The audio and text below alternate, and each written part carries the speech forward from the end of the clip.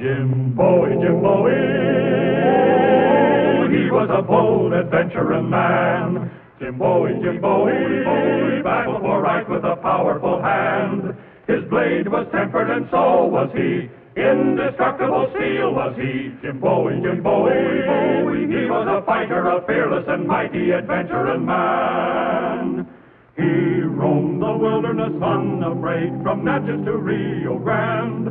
With all the might of his gleaming blade, he fought for the rights of man. Jim Bowie, Jim Bowie, Bowie, he was a fighter, a fearless and mighty adventuring man. Jim Bowie, whose name one day was to be written into the annals of brave men at the Battle of the Alamo, along with those of Davy Crockett and Colonel Travis, is on his way home again, heading south along the Natchez Trace toward his plantation in Opelousas, Louisiana.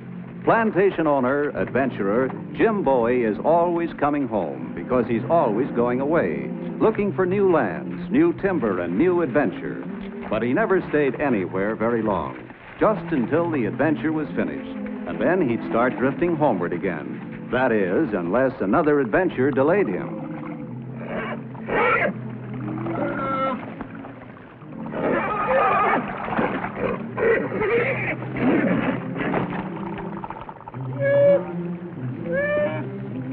Hey, now, look at this. Hello, Mrs. Bear. Now, you keep away from me now. I'm not hunting bear. You keep away from me now. I got a fine, dependable weapon, which I'll have to use on you if you don't keep away.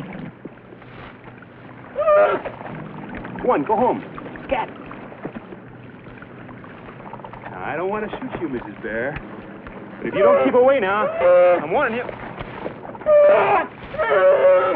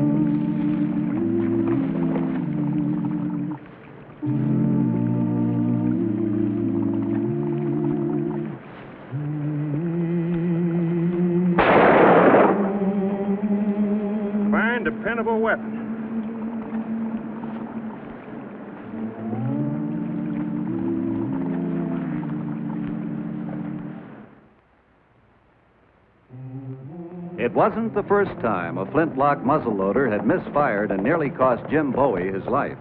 After the encounter with Mrs. Bear, he was determined to have a weapon that would match her claws, a weapon he could depend on.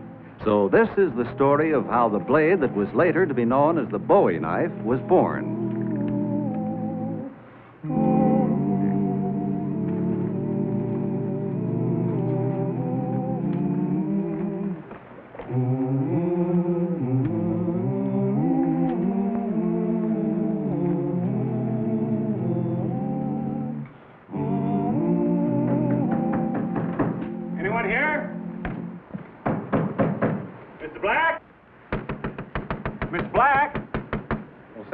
Don't live here no more, mister. Moved down to the country. Oh. Hey, can you tell me, is there a doctor in town? Yep, traveling doc, over at Yancey's store, making his regular monthly visit.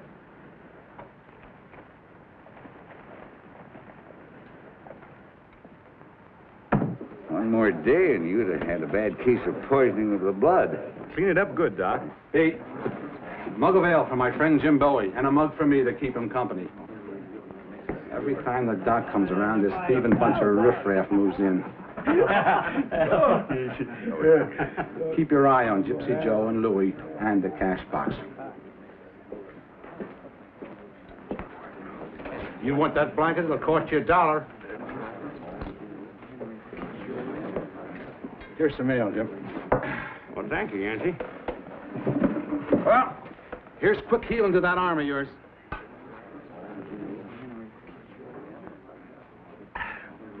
Now, what brings you to Yancey's Corner? Timber? Sugarcane land? No, as a matter of fact, I'm on my way home. Just sold some parcels of land up around Memphis. But that isn't why I come here. I'm looking for Sam Black, the steelmaker. You see, when that bear came at me and my gun misfired, I made up my mind right then and there I was going to get myself something more reliable. I was going to get myself a knife. Skinning knife? Oh, I got a fine selection. Mm-mm. I got a skinning knife. What I want's a special kind of knife. The kind of knife I want hasn't been made yet. That's why I come to see Sam Black. I remember my father used to say he makes the best steel in the whole Louisiana. Oh, he used to, but no more. He closed up a shop a couple of years back, got himself a little farm. Why'd he do that? Well, nobody knows exactly. He just up and moved. I'll tell you, boy. I'm going to give you some ointment and some fresh bandages. I want you to use them. If you don't, you're going to have trouble. Oh, I'll use them, Doc. I'll use them. How much owe you? Oh, with the salve, one dollar. One dollar? That's a fair enough price. Here you are. I've got you for ten dollars. Oh. Well, here, Yancey, you pay it, will you? Put on my bill. Thanks. Now keep that clean, you hear? Yes, I will. Thank you, Doc. Where's this farm the Blacks have moved to? Bayou La Tourneau. Straight south by the river road, about six, seven miles. Yeah? I think I'll go have a talk with Mr. Black. I want him to make me a knife. so do a lot of people. I can sell anything he makes. If you can persuade him, let me know, huh? Well, maybe a little of this uh, gold will persuade him. Thanks for the ale, Yancey. I'll see you on my way back. Right.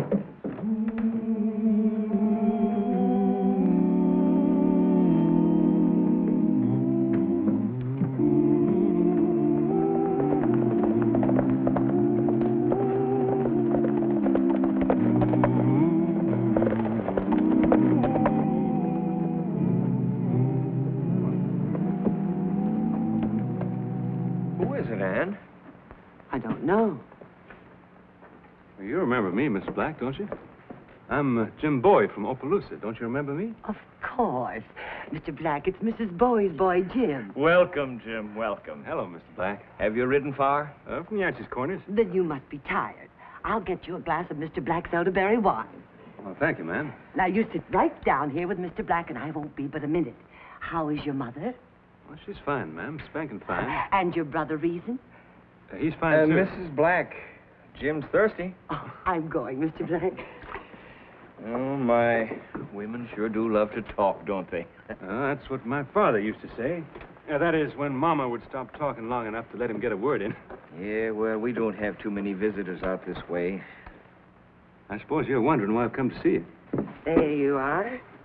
Well, thank you, Mr. Black. This is real social-like of you to call on us, James. My land, what happened to your arm? Mm, or I had a little argument with a lady. A lady bear. She out-talks me.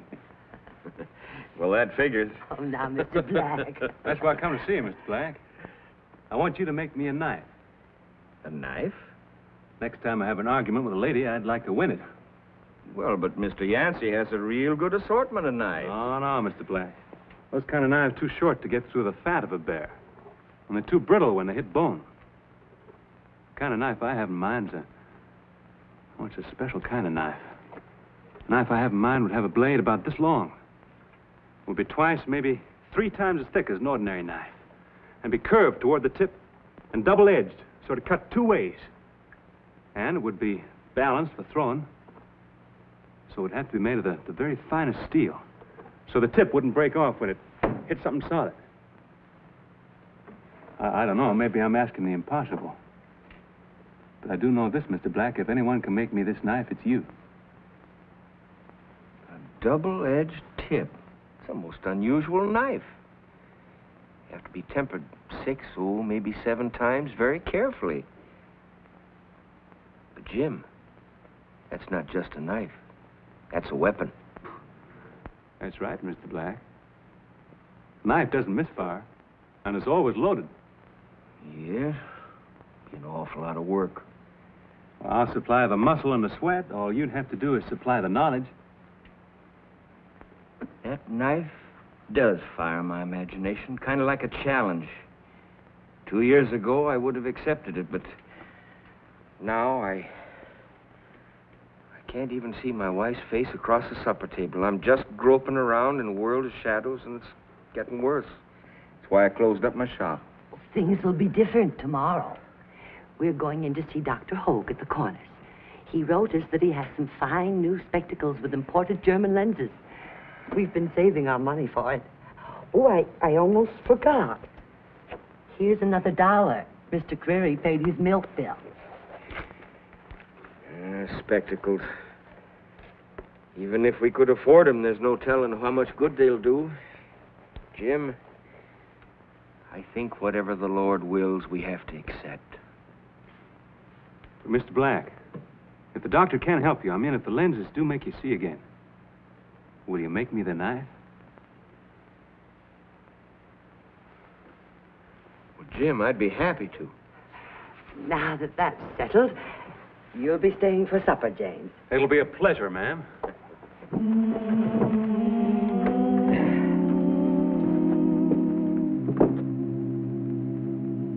There. That ought to hold you until you get home. Thank you, ma'am. Now, if you have time, I can fix your jacket for you. No, I think I ought to be going now. Wouldn't you like some more coffee, James? Well, maybe just half a cup. Where did you learn to make steel like this, Mr. Black? In the old country. What's the secret? Tempering. It's like a good stew, Jim. It isn't what you put into it, it's how you cook it that counts. I'll get your horse. No, no, I'll get it. Keep your Mr. seat. Coffee. Mr. Black can get your horse.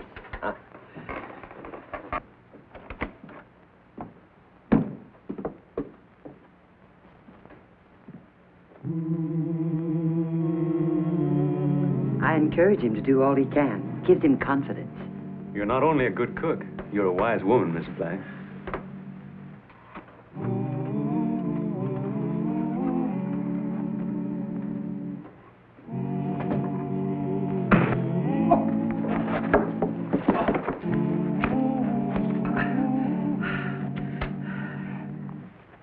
This isn't Bowie. Who cares? His money's just as good. Help! Jim! Help! Help!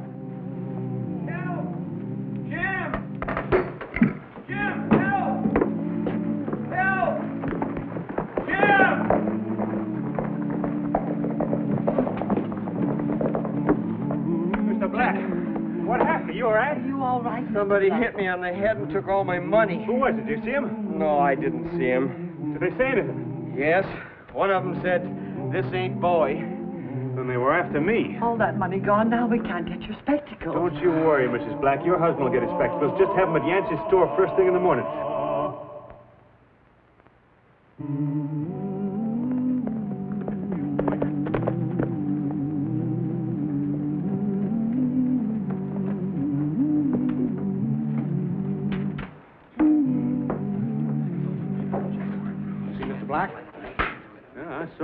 I saw him. He was beat up and robbed.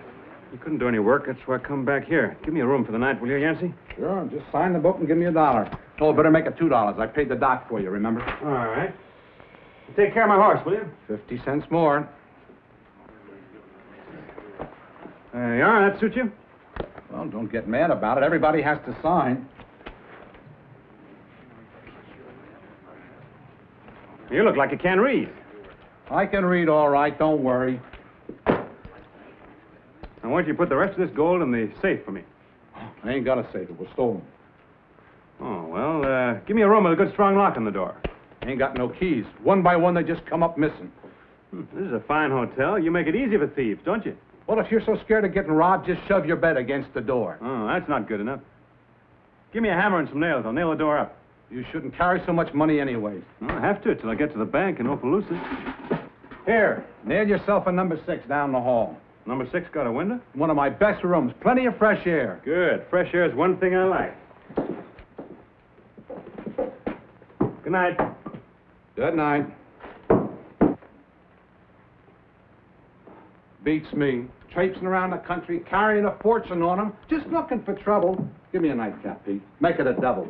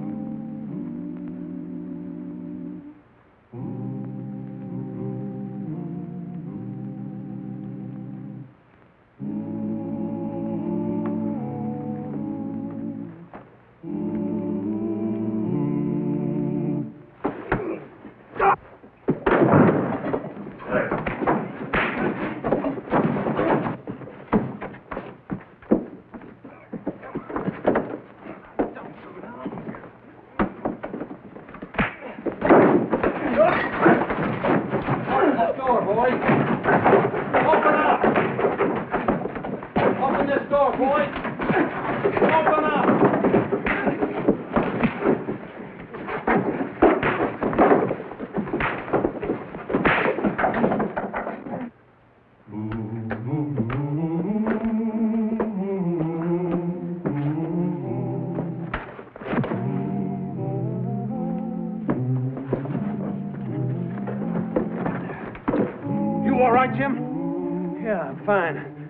Entertaining a couple of visitors.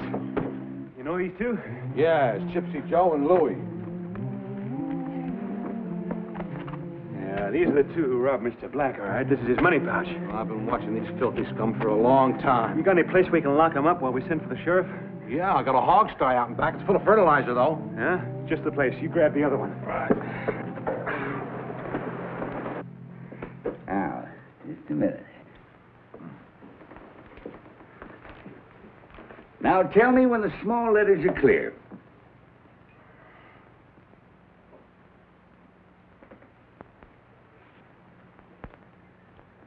Yes, now they are. I O E T C E. I tell you, Sam. I don't blame you for grinning, Jim. Looks like you're going to get your knife. Oh, I wasn't grinning at that. You know, you need two pairs, Mr. Black. Oh? Yeah, one for close work, one to hand on, and another pair for distance.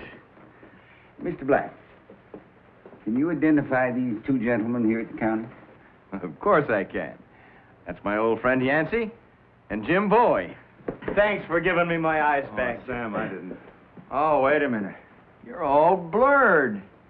My close glasses, if you please, Mrs. Black. yeah. oh, thanks again, Jim. nice to see you, Yancey. How about this?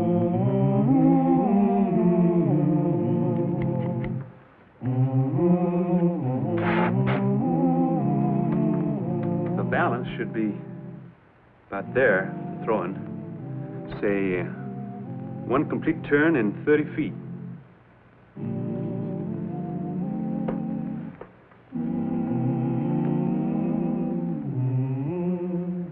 Light the forge, Jim. Yes, sir.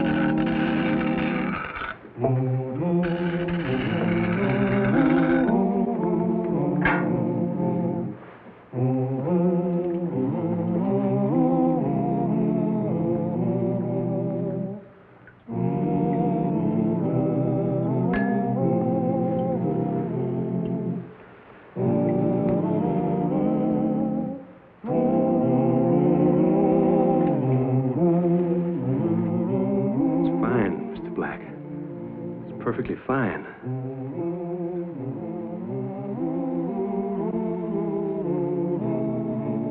Why, I never seen a piece of steel as fine as this in my whole life. There's a lot of gratitude in that blade, Jim. Come on outside. I want you to throw it. Huh? Come on, come on. Yeah, it's all right. Now, come here, Jim. That tree right... Uh-oh. Mrs. Black, please. Thank you. Yeah. That tree right there is about 30 feet. Go ahead and throw it. It's such a beautiful thing. I, I hate to risk it. Oh, it won't break. You sure? I'm sure. Go ahead. All right.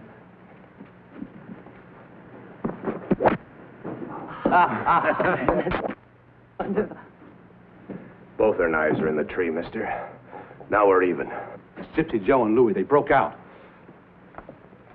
Joe, your quarrel's with the sheriff. My quarrel's with him, Yancey. I got a welt in the back of my head to prove it.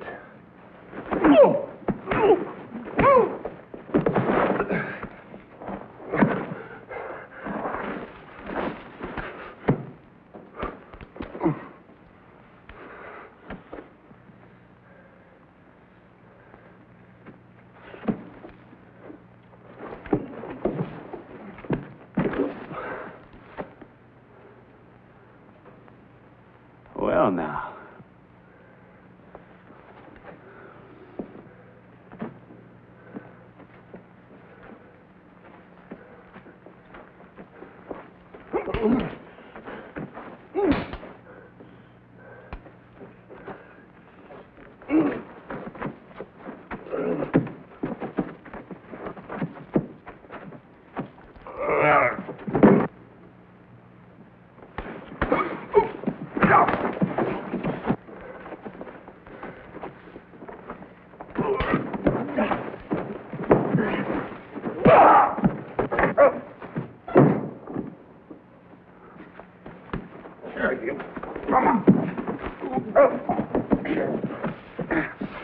Yeah, I'll take that, Yancey. Come on, you two. Back to the hog start. Come on. And Yancey, will you keep him there till the sheriff gets here?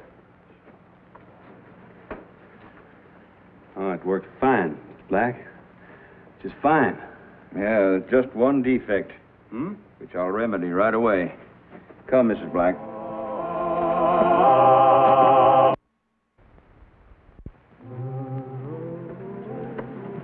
Here you are, Jim.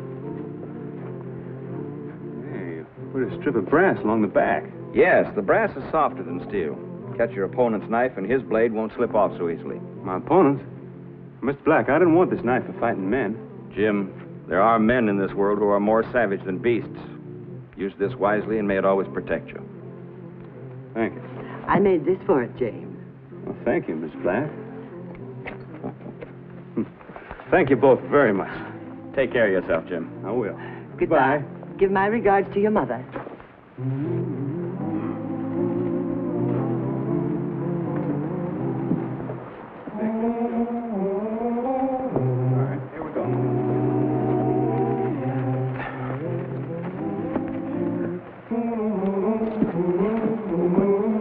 is the true story of how the knife was born. The knife that was to grow in legendary feats until it was known the world over by the name of its inventor, the Bowie knife.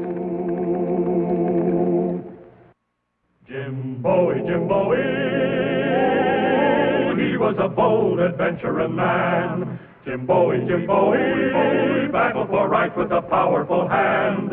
His blade was tempered and so was he. Indestructible steel was he. Jim Bowie, Jim Bowie, he was a fighter, a fearless and mighty adventuring man. He roamed the wilderness unafraid, from Natchez to Rio Grande. With all the might of his gleaming blade, he fought for the rights of man. Jim Bowie, Jim Bowie, Bowie, he was a fighter, a fearless and mighty adventuring man. Jim Bowie, Jim Bowie, he was a fighter, a fearless and mighty adventuring man.